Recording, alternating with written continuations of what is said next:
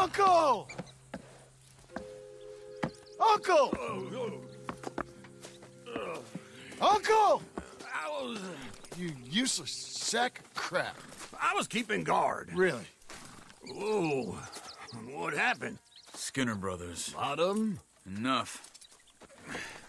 Once this is done, I'll take Mr. Devon back to town and get poor Mr. Wayne buried. Okay. Be careful. Oh, I will. But I'm fairly sure we scared him off for now.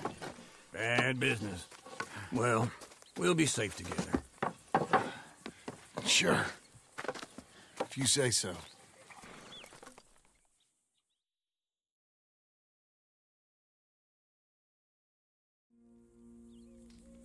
And John, I love you. Don't you forget that.